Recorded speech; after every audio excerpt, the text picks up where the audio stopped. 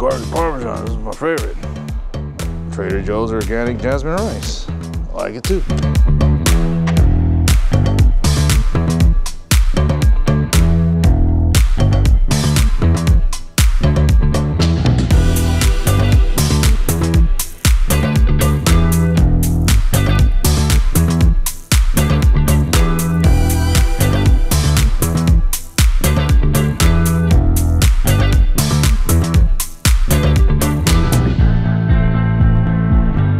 Hasta la vista, baby.